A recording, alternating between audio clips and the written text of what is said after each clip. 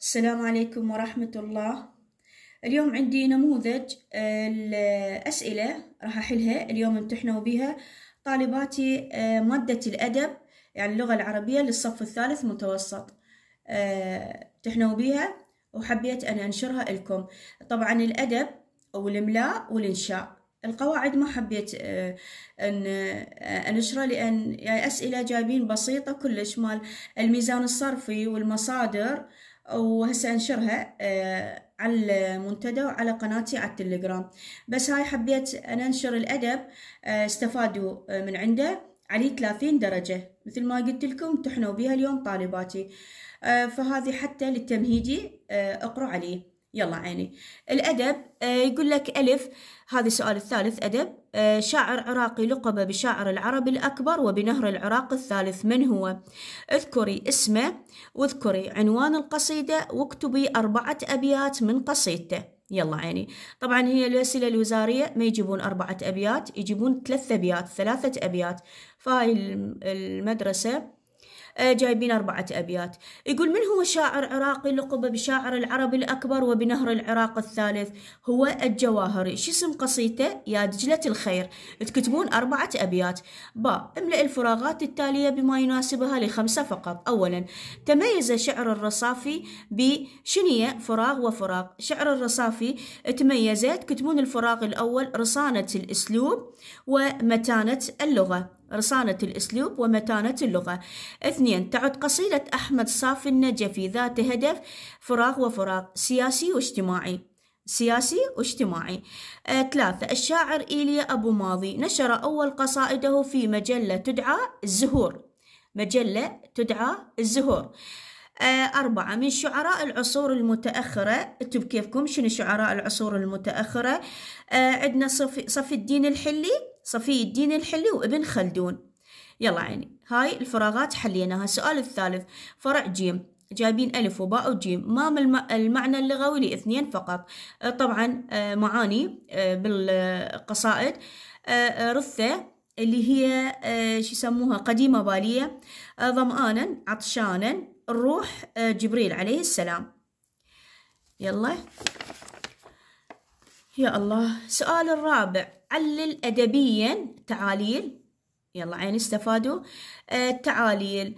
يقول لي آه هن ثلاثة. جاوبون على اثنين. راح أحلها كلها. عد العصر الأموي عصر الخطابة الذهبي. آه شو نقول؟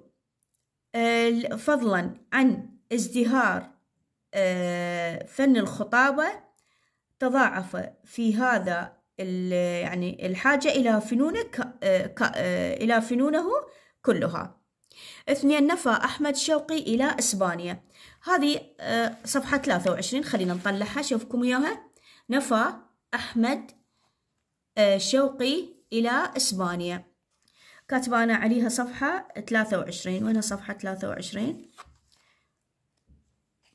هذه. شوفوا هذا. شو نقول؟ الحل؟ نقول آه نفى إلى إسبانيا في عام 1915 فقد أتاح له هذا النفي فرصة الاطلاع على الحضارة الأندلسية الحد الأندلسية. هذا لما يقول لي نفى آه هذا. الشاعر أحمد شوقي. الحد هو الأندلسية. زين. آه شنو عندي بعد؟ آه ثلاثة يعد العصر العباسي من أطول العصور الأدبية. العصر العباسي من أطول العصور الأدبية. هذه صفحة عشرين. هياته. هذا يقول لي يعد العصر العباسي من أطول العصور الأدبية. إيش نقول؟ آه نقول آه التي رافقت نمو الأدب وتطوره فظهرت فنون جديدة مثل الشعر التعليمي والشعر الصوفي والشعر الطرد وغير ذلك. هذين الشعراء. هاي يقول لي يعد العصر من أطول العصور الأدبية منا. رافقت نمو الأدب وتطوره فظهرت فنون جديدة مثل الشعر التعليمي والصوفي وشعر الطرد. زين.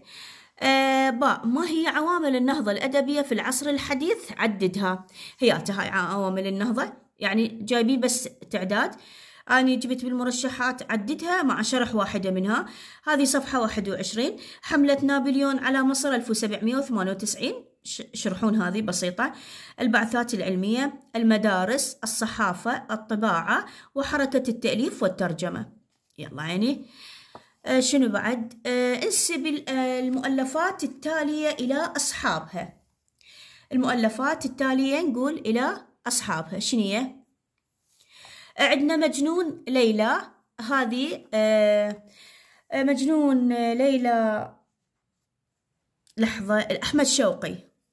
المؤلفات طبعا مهمة. يلا يوم. آه مجنون آه ليلى آه أحمد شوقي. زين. حصاد السجن أحمد صافي النجفي. وبريد العودة هذا. الجواهري أي هذا الجواهري.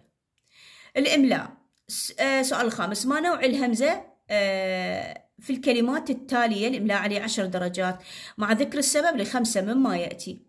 هذا أيمن الله همزة وصل. أساعد همزة قطع. ابتكر همزة قطع.